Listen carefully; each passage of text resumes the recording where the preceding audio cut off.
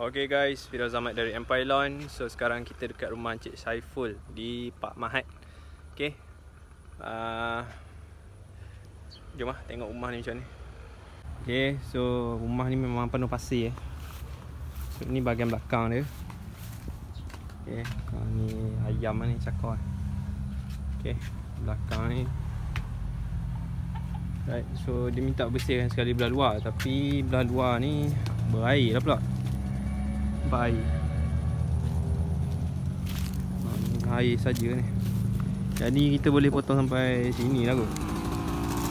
So longkang-longkang ni Jadi kita bersihkan Okay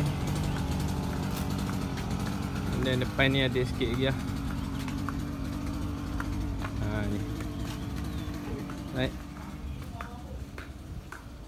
Lepas tu luar ni ada sikit Tengok luar dia Ha ni. Luar ni ada sikit lagi. Yang dalam longkang ni kita tak cara. Okay Longkang ni kita tak bersih kan. So, Kita potong sikit atas nanti. Ha ni belah luar. So nanti Agak-agak dalam 1 meter lah kita bersihkan. Lebih kurang lah.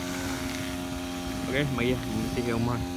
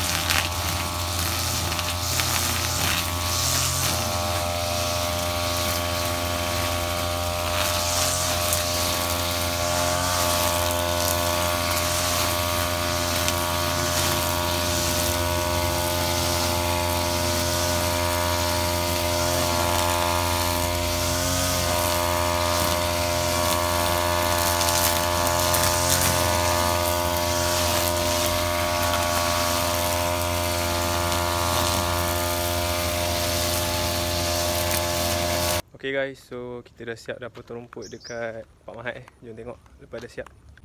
Okay, so ini side luar. Ha, Macam saya cakap dah 1 meter 1 meter lebih sikit lah ha, Kita buat sampai belakang. Side depan ni dah settle.